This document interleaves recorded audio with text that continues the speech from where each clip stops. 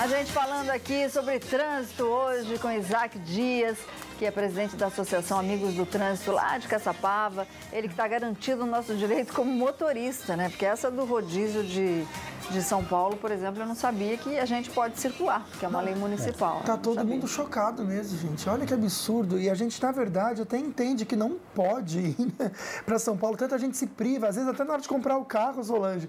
As pessoas compram querendo ir para eu... quarto. É. Joga lá, né? Vamos lá, que tá cheio de perguntinhas você estava falando. Tá, tá cheio de pergunta mesmo. Mas eu quero até aproveitar esse momento para a gente ver um pouco das fotos, né? Porque como a Solange até adiantou, né? Ah, tá. Às vezes a pessoa faz tudo certinho.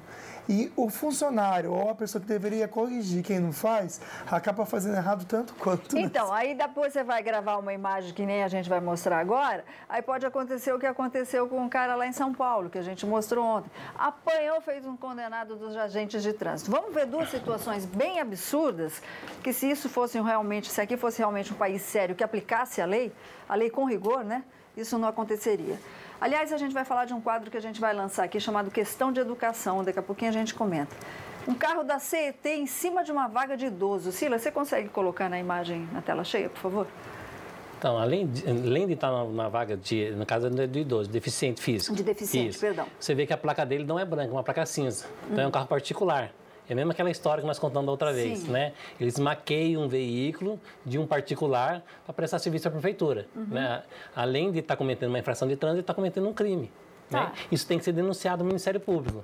O Ministério Público aí vai atrás do proprietário desse carro pro... ou vai culpar Não, também a, a, a prefeitura, prefeitura? que é responsável, né? Porque se eu pegar meu carro e envelopar com, com o adesivo da CT, você parado, você preso, segundo uhum. a delegacia. Uhum. É o que tem que ser feito. Vamos supor, se o cidadão que se, é, se, for um pouquinho mais abusado, ele pode chamar a viatura e encaminhar aquele veículo, entendeu? Ah, mas eu tenho autorização da prefeitura, mas você está fazendo uma, está cometendo um crime. Bom, e, e além do CET, como a gente está vendo essa foto, acreditem ou não, tem uma viatura da Polícia Militar parada. Olha só a imagem aqui. Esse carro é da Polícia Civil. Da, da Civil, perdão. Isso. Eu estou dentro de um shopping, dentro de um é. shopping, e em cima de uma vaga também de deficiente? Isso. É também é de deficiente físico. Então, eles falam... Assim, como Esse shopping aqui em São José. Então, eles, eles alegam porque assim, ah, eles têm prioridade de estacionamento, né? Quando eles estão em serviço.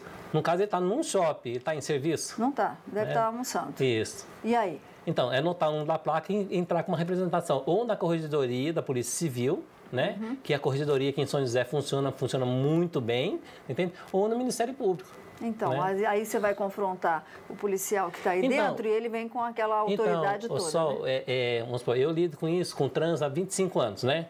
Nunca fui processado na minha vida nem nada. E nunca fui ameaçado por nenhum policial nem nada. Uhum. Então, se você ver a quantidade de fotos que eu tenho em casa, e já fui no Ministério Público, fui na Corregedoria, o pessoal do Ministério uhum. Público, da é, Corregedoria, okay. é, qualquer dia, dá até uma carteirinha para mim, para mim poder. É esse o papel, né, Luquinha, que é ajudar. É só mandar para a gente que a gente toma providência. Tá, a gente está colocando todos os contatos aí da associação no nosso Face. Vamos colocar os contatos aqui também, Fran, por favor, na nossa telinha da associação, para você que tiver alguma dúvida, quiser se defender de alguma forma, está lá o contato do Isaac Dias, o telefone, o e-mail também, a gente também está colocando no Face, para você poder se defender. E por falar em se defender, a gente vai entrar com novidades sobre isso aqui, pois né? é, Solange, quem estiver em casa e presenciar Atos como esse que a gente acabou de ver, gente, fiquem à vontade para tirar uma foto do seu celular mesmo, não importa a qualidade da foto, e enviar aqui para nossa produção para a gente realmente mostrar essa falta de educação que muitas vezes as pessoas têm, falta de respeito mesmo em seguir a lei, né, Sol? Exatamente. É o quadro Questão de Educação. A gente vai mostrar esses flagrantes aí e dependendo da gravidade desse flagrante, é lógico que a gente dá continuidade no assunto. Mas é para deixar com vergonhinha mesmo aquela pessoa que joga lixo na rua, água, né? Joga a garrafa no meio do riozinho, aquela coisa toda e para em lugar que não pode. Como a Cláudia Ribeiro comentou aqui que ela está de tal, ela é em Taubaté, mora em Taubaté e sempre encontra policiais sem usar o cinto de segurança. Viu isso? isso. Pode tirar uma foto e manda pra gente não, que com certeza a gente pode comentar. aumentar. Pode. Ah, isso pode? Pode, Eu não sabia. pode. Por quê? Mas não é trânsito? Não, não. Eles, por causa, o policial militar, na viatura da polícia, que eles também, não, no carro particular deles, eles não usam. Eles estão, eles podem sair de uma hora para outra do carro correndo, uma situação de emergência. Então, eles têm essa, essa uma portaria do, do, do Detran que autoriza eles não usar o cinto de segurança. Uhum. Ok, Tá? vamos lá. Uma última perguntinha rapidinho que tem a ver com multa, quem já não levou multa, ponto em carteira, etc e tal. Aconteceu um caso com o Luiz, um amigo nosso lá de Piquete, que ele levou multa para Dedéu. Só que não É. veio nenhum ponto na carteira. Ele gastou dinheiro, mas não tem nenhum ponto na carteira. Isso Então, pode? Como é que É, funciona? para você ver como que é a situação, que o governo só quer o dinheiro. É. Entendeu? E com certeza essas multas que ele tomou na- e não veio pontuação é da Polícia Rodoviária Federal. A Polícia Rodoviária Federal não lança a pontuação. Entendi. Para eles alegam que eles, se você conversar com algum policial militar, não, que é para a gente não prejudicar o cidadão, não sei o quê, mas a intenção deles, deixou bem claro aí, é arrecadar. Pra vocês verem quão confuso é nosso trânsito aqui nesse país, existem três órgãos: Denatran, Contran e Ciretran.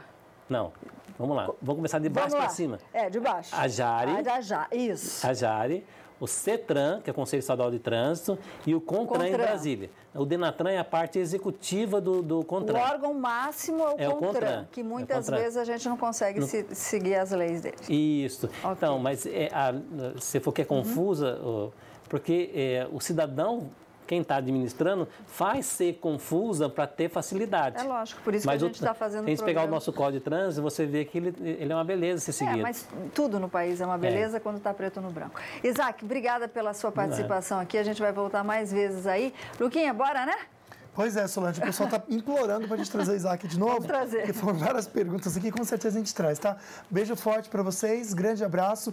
Amanhã o programa é sério e você não pode ter vergonha para participar, viu? Pois é, a gente vai falar sobre vergonha de conversar com seu companheiro ou companheira sobre sexo. Às vezes a coisa está caindo naquele esquecimento e você está com um pouco de vergonha de conversar com ele ou com ela. A gente vai te ajudar. Beijão, fiquem com Deus e a gente se vê. Tchau, tchau. Miss the sun when it starts to snow. Only know you love her when you let her go. Only know you've been high when you're feeling low. Only hate the road when you're missing home. Only know you love her when you let her go.